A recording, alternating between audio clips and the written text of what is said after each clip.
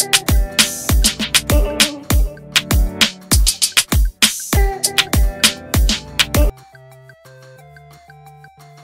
ดความหรูหราเครื่องบินส่วนตัวสี่สาว แบล็คพิงค์สมฐานะไอดอลตัวแม่ จบลงไปอย่างอลังการสมกับที่แฟนคลับส่วนใหญ่รอคอยสำหรับ Blackpink World Tour Born Pink ของศิลปินเกิร์ลกรุ๊ประดับโลก Blackpink นำโดยลิซ่าลลิสามโนบาลจีซู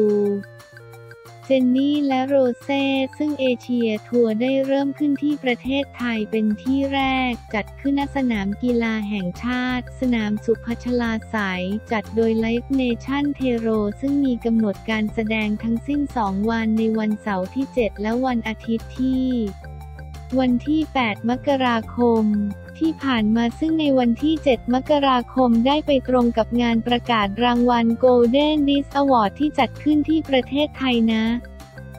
สนามราชมังคลากีฬาสถานงานนี้จึงมีศิลปินตบเท้าเดินทางมาเมืองไทยพร้อมกันเพียบ แต่ girl group ระดับโลกได้แตะพื้นเมืองไทยแบบสุดหรู โดยเครื่องบินส่วนตัวแบบเช่าเหมาลำมาโดยเฉพาะ ซึ่งสาวเจนนี่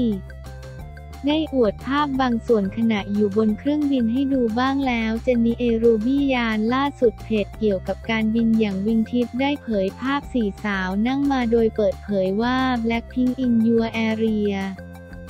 ถึงไทยแล้วเดินทางกับเครื่องบินส่วนตัว Embraer Lion 1,000 ภาพเส้นทางการบินของเที่ยวบิน ASO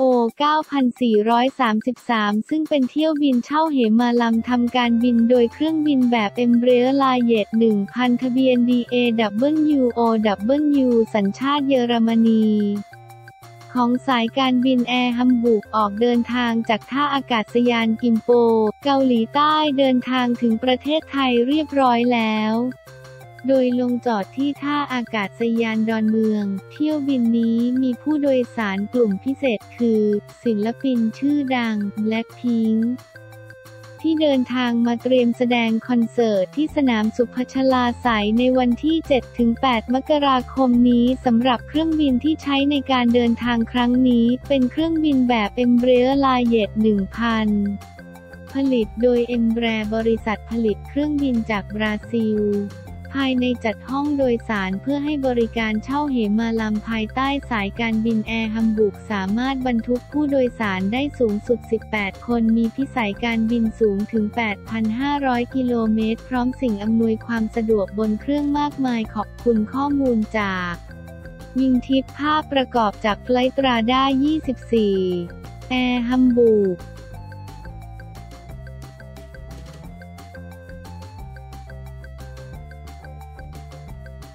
เอาอีกแล้วลือเอสเธอร์เลิกเคนภูภูมิเส้นรัก 7 ปีฝ่ายหญิงตอบแล้วจริงไหมรักกันอยู่ดีๆ ก็เจอข่าวว่าคู่ของนางเอกสาวเอสเธอร์สุปรีลีลากับพระเอกหนุ่มเคนภูภูมิเลิกกันแล้วหลังคบหากันมา 7 ปี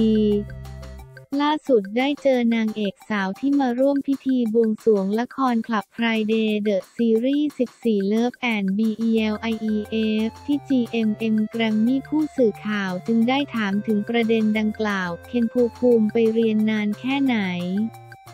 ไปเดือนครึ่งค่ะตอนนี้ก็ไปมาเดือนหนึ่งแล้วใกล้จะกลับแล้วกลางมกราคมนี้ก็กลับมาแล้วได้ยินข่าวไหมเขาลือว่าคู่เราเป็นคู่รักเลิกเงียบ ไม่รู้จะตอบยังไงเลยเราก็ยังปกติกันอยู่แค่ยังเหมือนเดิมอาจจะด้วยพี่เคนไปเรียนที่ต่างประเทศ ประมาณเดือนครึ่งเขาอยากไปเรียนเพื่อหาความรู้เพิ่มเติมด้านภาษาเอสไม่ได้ตามไป เพราะเริ่มเปิดกล้องถ่ายละครแล้ว เวลาไม่ได้ตรงกันปีนี้ก็เลยไม่ได้เขาดาวด้วยกัน ปีนี้ค่อนข้างต่างคนต่างอยู่ต่างมีแพลนของตัวเอง ภาพคู่ก็หายคนเลยรู้สึกว่าแปลกไปไม่แปลกนะคะอาจจะด้วยเราอยู่ในความสัมพันธ์ที่คบกันมานานมากแล้ว ปีนี้ก็เจ็ดปีแล้ว แต่ละคนเริ่มอายุมากขึ้นเลย ต่างไปมีกิจกรรมของใครของมัน ไปรับผิดชอบสิ่งที่ตัวเองต้องรับผิดชอบเยอะขึ้น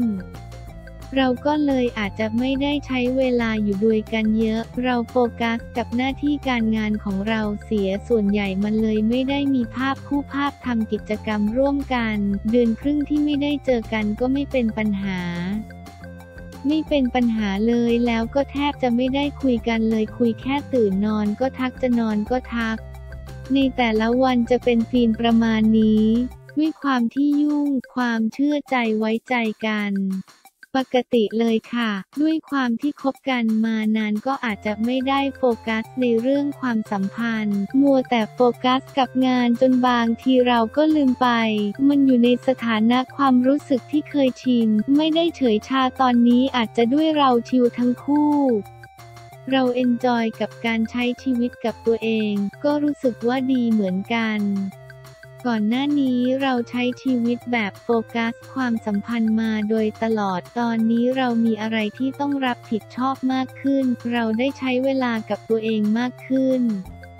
เลยรู้สึกว่าเออ มันควรจะมีเวลาให้กับตัวเองบ้าง เราเองก็รู้สึกว่าพอเป็นแบบนี้เขาก็แฮปปี้ ต่างคนต่างแฮปปี้ที่ได้มีเวลาของตัวเองกันมากขึ้น เลยรู้สึกว่าการที่จะต้องห่างกัน ไม่ได้มีปัญหาในความสัมพันธ์เลย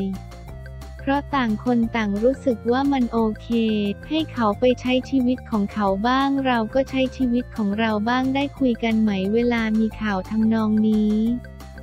ไม่ได้คุยเรื่องข่าวที่เกิดขึ้นเลย อาจจะด้วยเราไม่ได้โฟกัส ไม่ได้คุยกันเรื่องข่าวต่างๆของเราเลย ความสัมพันธ์เราก็ไปเรื่อยๆ เหมือนเดิมไม่ได้มีอะไรเปลี่ยนไป เคยกลับบ้านต้องหวานหน่อยสยบข่าวลือ ไม่รู้เลยจริงๆ หัวเราะก็มี request ของฝากไปให้ไปดูของนั่นนี่ให้หน่อยซื้ออันนี้ให้หน่อยฝากเขาซื้อ เพราะที่ประเทศไทยไม่มี มี feel กลัวไหมพอเราต่างคนต่างใช้ชีวิตกลัวความสัมพันธ์ในอนาคตจะเปลี่ยนไป มันน่าจะเลยจุดนั้นมาแล้วที่เรากลัว ด้วยความที่ตอนนั้นเราอาจจะเด็กเราเลยโฟกัสกับความสัมพันธ์ของเราว่าเราอยากจะคบกันไปให้ได้ตลอดรอดฝั่ง แต่เมื่อถึงจุดหนึ่งที่เรารู้สึกว่าเริ่มโตขึ้น เราเลยรู้สึกว่าอะไรจะเกิดก็ปล่อยให้มันเกิด เอาแค่ปัจจุบันนี้ให้ดีที่สุดสุดท้าย ถ้าความสัมพันธ์มันจะไม่ work หรือไม่รอดเราก็จะยอมรับและปล่อยวาง เหมือนเราเข้าใจมากขึ้น เราเคยผ่านจุดหึง หวงงอแง เคยผ่านมาหมดแล้ว พอเราโตขึ้นเรารู้สึกว่ามันเป็นประสบการณ์ มันยังไงก็ได้ขอแค่ทำวันนี้ให้ดีที่สุด แต่เราไม่เคยมานั่งคุยกันถึงเรื่องอนาคตว่า ถ้าวันนี้เราไม่รู้สึกอะไรกันแล้ว แล้วเราจะยังไงกันต่อเหมือนมันรู้ด้วยตัวเองมากกว่าต่างคนก็ต่างโตขึ้นที่บ้านมีสกิดหมายว่าจะมีข่าวดีหรือเปล่า ไม่มีเลยค่ะเหมือนครอบครัวก็ยังรู้สึกว่าเรายังไม่พร้อม